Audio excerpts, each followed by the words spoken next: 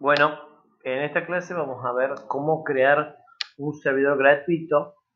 Eh, dentro de un servidor gratuito, cómo crear una cuenta, eh, tener un dominio gratuito, un subdominio que te dan ellos. Después vamos a ver cómo comprar un dominio, cómo adquirir un dominio. Y ese a, dominio relacionarlo con este servidor. Pero por este momento vamos a ver cómo tener un servidor gratuito y montar nuestra propia página web de manera muy rápida y sencilla ahí en el aula virtual, acá ya les dejé el link, ¿dónde estás? ¿Dónde estás? Ah, ya les dejé el link con el que van a crear un servidor gratuito. Este servidor es lo más parecido que hay a un servidor pago, eh, por la forma y las características, porque hay servidores gratuitos que no le muestran todo o es totalmente limitado, le pone publicidad, y este servidor es totalmente gratuito. Y Obviamente tiene sus limitaciones, que ya la van a ver, y, pero puede trabajar de manera muy sencilla, hasta esta página se echa en WordPress y otras más lo pueden hacer. Bien, van a ir a este dominio, que está acá.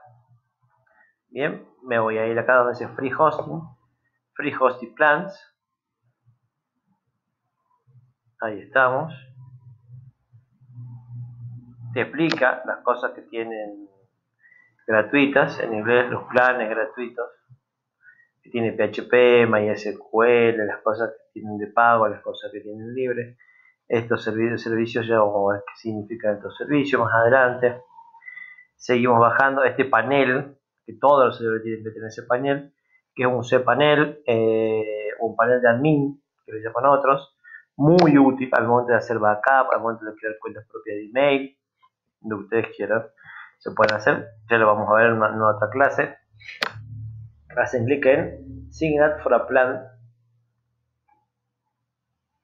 Bien, primero acá le dicen el dominio que va a tener, este, vamos a poner eh, página de prueba.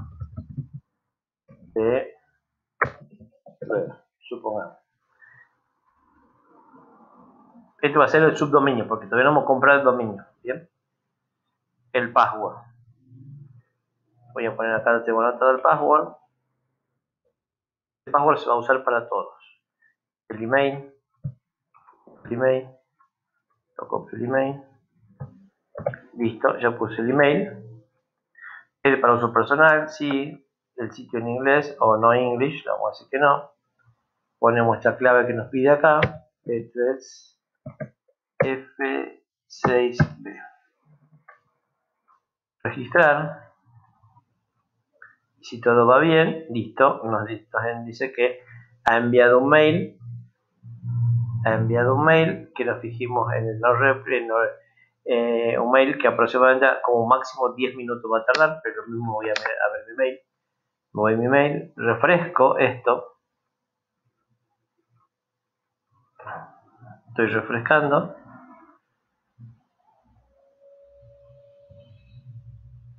bien, a ver, me voy acá, a ver si lo tengo acá el mail. Si no lo llegase a tener, como en este caso estoy viendo que no lo tengo, me voy a spam o correo no deseado.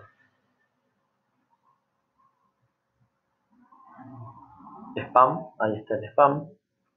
Está abriendo spam. Cargando. Y ahí está. Activación, ¿ve? Hosting activación. Bien, y me dice en inglés que para terminar de activarlo haga clic acá. Hago clic acá. Y ya se comienza a activar. Ahora se comienza a crear el servidor de esta manera y o cuenta gratuita. Bien, va a tardar un par de minutos y ya va a terminar. Bien, como verán, tardó un cachito, pero bueno. Y acá ya se ha creado. Me dicen que estos son el nombre de usuario para ingresar al panel, eh, la contraseña que fue la que elegimos, que habíamos puesto, y cómo entrar por FTP. Bien, estos datos son los datos de ingreso. Y también me envió un email, que voy a verlo ahora, eh, con estos datos. Si no lo... Eh, a ver, ahí está. Los datos de mi cuenta. Esos son los datos, perdón, los datos de mi cuenta estaban ahí.